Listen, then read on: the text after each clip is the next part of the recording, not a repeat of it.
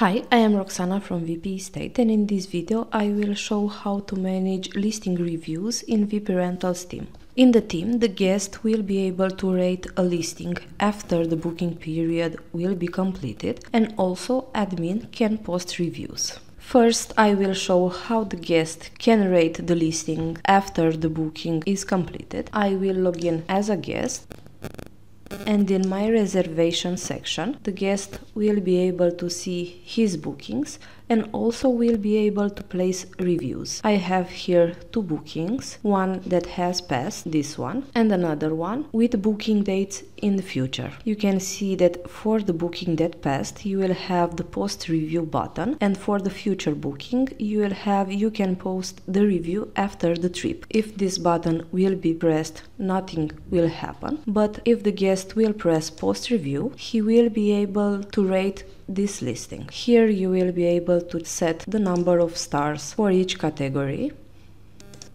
I will select 5 stars for all and here the guest will be able to add a message. I will add a message as well and I will click submit review. You can see that now the post review button does not display anymore and if you go on the listing page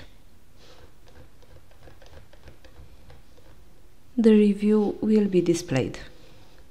This is how the guest will manage reviews. Next, I will show how admin can manage them. I will next log in as admin. The admin can delete, edit or see reviews from the comment section. He will be able to change the number of stars and edit the text. Also, the admin can add reviews on behalf of his guests and next I will show the exact steps that admin will need to take. First, the admin will need to create a new user from front-end register form. That user will need to have the username that will be displayed as the review name. I will create the user account.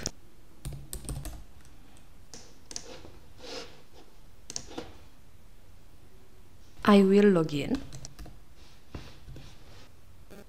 Next, I will go to the admin dashboard and change this user level to administrator.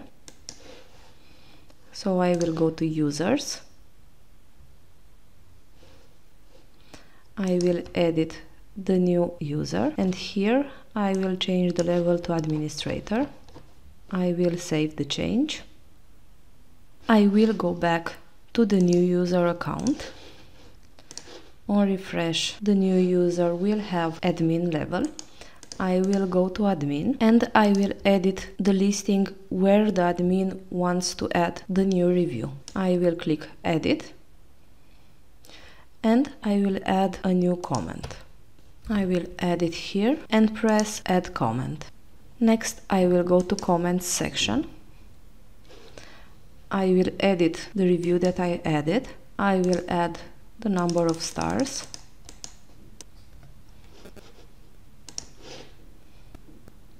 I will save the changes made and if I open the listing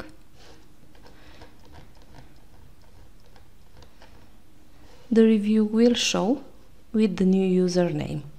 The last step is to go back to the main admin account and switch the user account back to subscriber. I will save the changes. These are the steps that admin needs to take to add reviews manually. Next I will show how owners can provide a reply for the reviews received for their properties. The owner reply will be visible under the review here.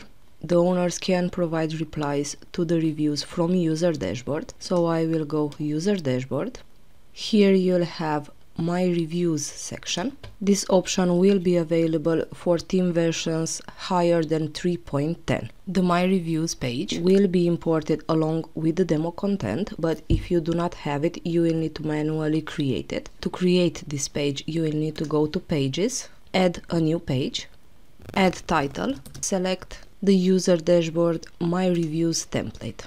I will not save this page because I already have it in my site, so I will go back to user dashboard. The owner will find here all the reviews made for his properties. The owner will need to type here his reply and press the reply to review button. The reply will be visible in the listing page. This wraps our video. Thank you for watching and do not forget to subscribe to our YouTube channel to get instant notifications on new videos.